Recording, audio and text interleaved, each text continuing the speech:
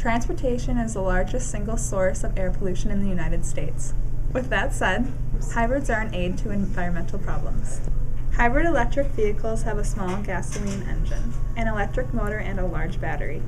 The electric motor supplies extra power to aid the gasoline engine when accelerating, passing, and driving up an incline. Because of the assistance of the electric motor, the car can have a more efficient gasoline engine. Vehicles generate hydrocarbons, nitrogen oxides, and carbon monoxide, all of which contribute to the greenhouse gas effect, global warming, and smog. Hybrids are also better than electric cars because electric cars use energy, which means they use coal instead of gas. By burning coal, we are releasing mercury and high levels of sulfur into the air. Even though the cars themselves have little to no emissions, the way that we generate power to the cars creates pollution themselves. Okay. Right now we have few zero emission energy sources, such as solar and wind, but we still rely heavily on sources of energy that cause pollution. Most frequently we get energy from burning fossil fuels, but it can also come from nuclear and hydroelectric power. All three methods pose environmental problems. Over 75% of the world's energy comes from burning fossil fuels. In addition to the pollution caused by oil extraction and transportation, fossil fuels spew out pollutants like carbon dioxide, carbon monoxide, nitrogen oxide, hydrogen sulfide, and sulfur dioxide. Splitting atoms creates nuclear waste, which is unfortunately hazardous to living creatures. Scientists have yet to create a way to get rid of this waste practically and safely as most have a half life ranging from decades to a thousand years. Hydroelectric energy is formed by controlling how much water is flowed out of a man made dam, and over a turbine. The farther the water falls, the more energy we get. Unfortunately, creating dams can damage entire ecosystems. Naturally flowing rivers fuel the lives of animal and fish populations. When a river is dammed, life downstream suffers dramatically. In addition, creatures like salmon that depend on the river cannot spawn. Hydroelectric energy also contributes to deforestation and erosion. Right now, our vehicles are not zero emission. However, we hope to one day have zero emission vehicles. It is said that the electric car is zero emission, but this is not true. The electricity is actually powered by coal, which is not zero emission either. Hybrid cars are known as partial emission vehicles. We hope to one day have zero emission vehicles. But until then, we must drive less in order to help the environment.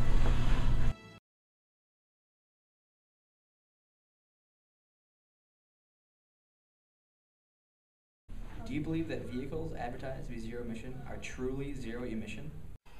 Well, I, I don't. As far as zero emission vehicle advertisements, um, no, I, I don't believe that, that any vehicle really is actually truly zero emission.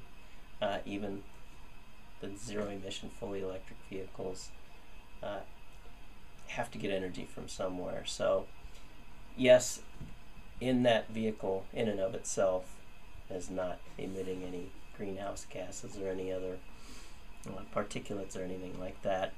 But uh, the energy still has to come from a power plant somewhere, whether it be nuclear, bio energy, or uh, or fossil fuels. So. What is your opinion on the internal combustion engine my opinion on the internal combustion engine car. Well, I've always been fascinated with cars. Not that it's been a major hobby or anything like that, but it's always been an interest.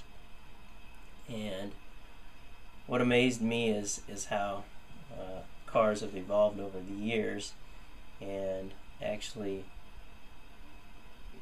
I can remember uh, back when I was in high school it was pretty commonplace to to have cars getting upwards of 40 miles, maybe 50 miles to the gallon uh, on fuel. And then our, our mileage dipped, and, and I've actually talked about that a little bit in some of the classes I've taught Bio 111. Um, but then I've had that kind of explained away to me from friends that work in the industry, and they say that it's because of different testing methods. And, things of that nature, different standards for different countries, so they're able to uh, show an increase in mileage. But in general, uh, my opinion of the internal combustion engine car is you know, we need to wean ourselves from it Uh, we can't necessarily do that overnight. We have to keep uh, working on technologies to to uh, improve efficiencies while we go through that transitional process. What is your opinion on the zero emission car? My opinion of the zero emission car, if this is referring to a fully electric vehicle, I, I think this is a, certainly a positive development because even though it's, it, you still have to get the energy from someplace. Uh, it, but if you're if you're talking a fully electric vehicle, eh, where you simply plug it in and charge it, um, that that energy acquisition is is at least coming off of the grid, and we can in a in a different way reg- we can we can sort of shift the regulation of of emissions over to more easily controlled point sources at power plants, uh, whether it be renewable, wind, whatever. Uh, we can make a, an easier transition. I, I guess I, I'm very positive on, on electric vehicles, but at the same time, they have to be economically competitive, have to be competitive price wise in order for the transition to take place. Until that happens, it's uh, it's going to be an uphill battle. Yeah, there, there's other there's other drawbacks in developing that technology. Just just the effort to produce the batteries that will give you enough of a charge to to really go about a, a significant daily commute or something like that. Uh, it takes a lot of resources to to develop that as well. What is your opinion on hybrid cars? I like hybrid cars as well. I wish I had a hybrid car. Uh, I know there are some dangers uh, still. Uh, dangers with uh, potential problems with crashes that aren't aren't uh, necessarily part of combustion crashes other dangers. Every everything has its drawbacks. I guess there's no perfect vehicle, uh, but but hybrid cars are, are again a nice transitional step. I wish we had a cold fusion vehicle like on uh, Back to the Future. That would be the solution, but unfortunately, we don't have anything that can hold the reaction. Do you think that someday we will have a fully zero emission car? Well, yes, I, I guess I could say that there will be if we are able to make the transition to fully uh, renewable, non uh, non-emission power sources, wind, solar, uh, all the renewable sources. That being said, you still are going to have to, to make the parts, uh, do the upkeep uh, on all those power plants.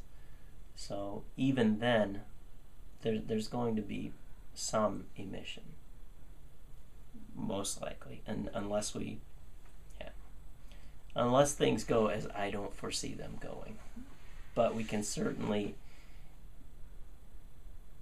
go a lot farther toward zero emissions. Yes, absolutely.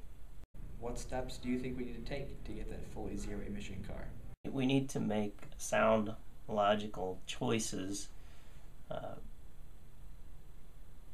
in the transitional process. It can't be an overnight process, and it, we see that it isn't because the technologies we develop are too expensive for the general public to afford once those prices come down, and maybe it takes federal assistance with that, which there already is a significant amount of assistance uh, to motivate, so be it. Um, I wouldn't necessarily recommend that uh, in a high degree, though. I, I do believe in, in capitalistic ventures. At any rate, though, we, we just need to, to keep our heads and uh, let let uh, capitalism drive the entrepreneurs that are going to, to develop the technologies and make them competitive.